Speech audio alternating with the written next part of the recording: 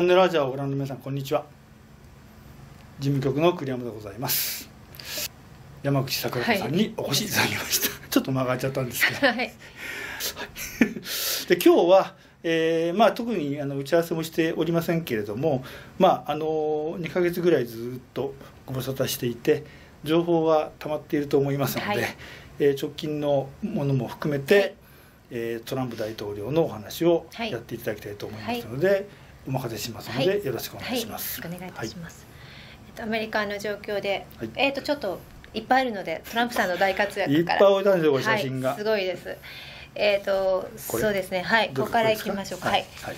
えっ、とトランプ大統領7月1日今国境が大変なことになってるんですみたいですね、はいなんか。そう。そこにえっ、とトランプさん行くって言って。はいはい。行ったんですか、ね、そうなんですね。政権が全然行かないからバイデンたちがそうこれ行くって言った途端にカマラ・ハリスが行ったんです、3日前に行ったんですけどでも全然ボーダーには行ってないんですよカメラ。あそうなんですね。そこからすごい離れたところに行って行ったって言ってるだけで、へートランプさんそのそそここまで行っていやこちらもそう、ねそこもいいですかね。あこれね？これはい、これボーダーであごめんこの3つですね。これか、これか。そうそう。これこれこれこれこれはい。これこれ。はいここもう大歓迎を受けまして。まあ歓迎されるでしょう。そうですね。それは。はい。そうこれだから3日この3日前にカメラ来たけどカメラはみんなゴーホームみたいな感じのしか出てなかったけど このね。これ。もうすっごい大変す。ごいなこれ。この列、はいちょっと分かりにくいかもしれないですけど、はい。すごいですよこれ。うん。は大あ歓迎でした。ここからまあこの辺から始まってっていうかこの前後にもはい。あのテレビとあテレビとかニュース番組であのあの音音声だけで出たりとかいろんなの出てる結構出てるんです。最近露出が多いんですがでこれ4月1日はい。で3日はフロリダではい。大規模集会。これ？はいこれは縦えっとこれは応援のこれすごいな、はいこれもなんか。ヨットですね。ヨットであヨットというか。あこれヨットそうそうそうそはあすごい。うで会場はこれ。夕方からやるんですね。夕方の。わあすごいこれ。3万人以上まあ4万人近かったのかな。へえ桁が違う、はすごいんですよ。12時間以上待ってる人たちがすごいいっぱいいて野外だったからちょっと隣に3時間土砂降りになったんですって。それででも誰も帰れなくてもう帰ってくださいって言ったけどあの主催の方がさすがにちょっと帰れなかった。さすがにね。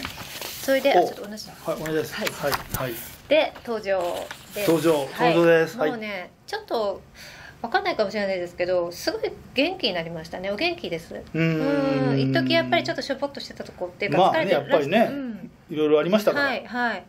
まあそうこれはこの人それでいろんなあの冗談を交えて話をして 今そこにあの来てるあのメディアのカメラで今ね言っちゃいけないこと言ってると思ってそこ今下ろしたねとかもうね言いたい放題言って何でもそれでおはお水一つ飲まず1時間と20分ぐらい話しました。そうですか。すごいな、でそれが7月1日3日これはい。7日、今度はまたお、えっ出ました。とフロリダで記者会見出ましたよこの顔、ね、ビッグテックに対する集団訴訟を発表、発表しましたねアメリカファーストポリシーインスティテュートっていうのと共同で代表として Facebook、Google、Twitter を含む大規模な集団訴訟国民による須田訴訟を提起しますと。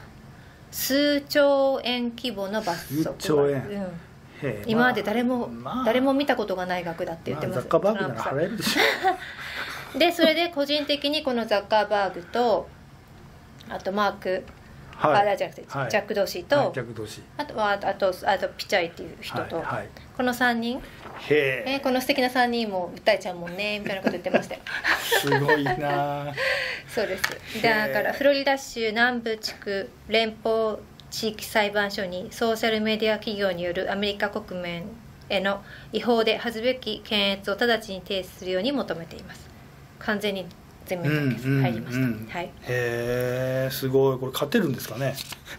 いやでも国民的には国ねだいぶね、うんね盛り上がってますよ。盛り上がってますからね、まあ、あとはやっぱはい。り裁判官のは判断次第ですよ。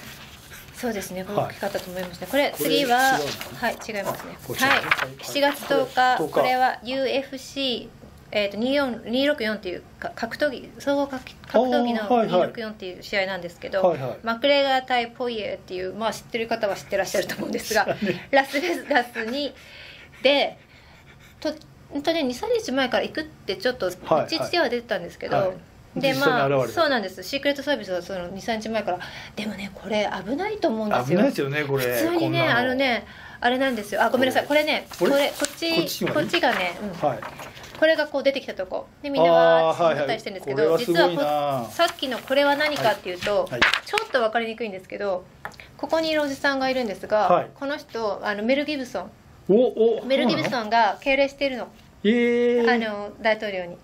あこれメル・ギブソンなの？そうなんです。ちょっと分かんないんですけど。全然分かんない。そうなんもっと綺麗な画質だったとこ分かったんだけど、ねうんうん。へえ白いひげ生やしてますけど。ねうん。ひげ生えちゃったの？はい。それがちょっと話題になりました。はあもうすごかった大盛り上がりで。で USA コールが全然あのあれなのに 格闘技の大会なのに USA コール起こって。すごいな。はい。はすごいんですよ。あ。それでえっ、と11日は次の日ですね。はい。これまたシーパック。シーパックね。はい、はい。テキサス、はい。全米で一番大きい保守大会ですよね、はい。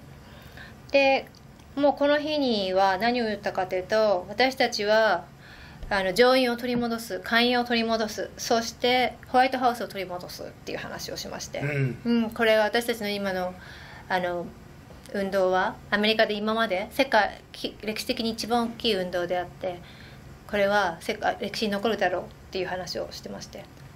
そやそーの運動はでもねしかもね はい。始まったばかりだっていうからねみんなええー、ってなってましたけど。もう半分ぐらい終わってるとか言ってほしいな、そうもううん。ねまあそうそう。でこれは本当にまた盛り上がってすごかったんです。でへー。CPAC3 月にもあったんですけども、はい。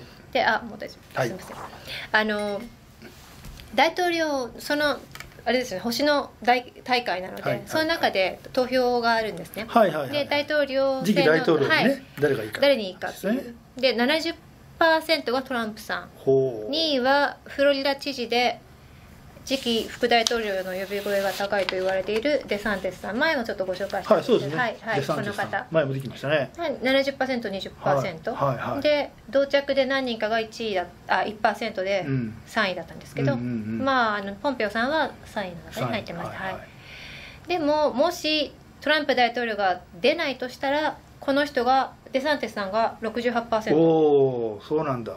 ポンペオさんがポンペオさんでも5%かな？あとトランプジュニアが4%ジュニアね、はい。へえそうなんですね。だからえー、とそう以前の CPAC ではトランプさん55%今度70%になってすごいですね。はい。そうなんです我々は今まで以上に強力であるって言ってるけどなんだトランプさんねもうねなんかパワーアップしてますよ。うん。本当にすごいと思うんです。な何歳になるですか？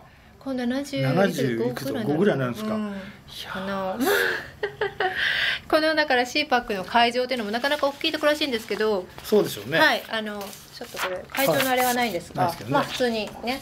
で外でも1000人単位であの入りたくて待ってる人がいて、はいはいはい。でね実はね僕ねとか言って。あのそうそう。そういろんなねいろんなこと言ってるんですよ。実はこれね一番ここが空いてるとこに入れてって日曜日の夜が一番空いてるでしょ？ってだってみんな帰りたいし。っつって、はい。うん、でもそれ入れてくれれば大丈夫だからって言って。でもちろんそこを満席にしてさらに外に1,000人いるっていう形になったし。うん、本当にすごいです。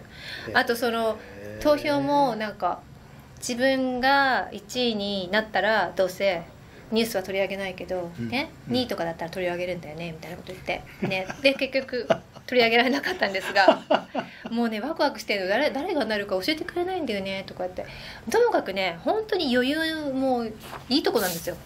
へえすごいね一時見えなかった余裕がすごい見えるようになって、うん、だからすあんま良かったなと。力強く。相当自信があるんでしょうね、うん、あの次に2024年はさすがにもうねお年だしって思ったんですけど私もう、うん、でもまだ全然大丈夫です。はいいけます。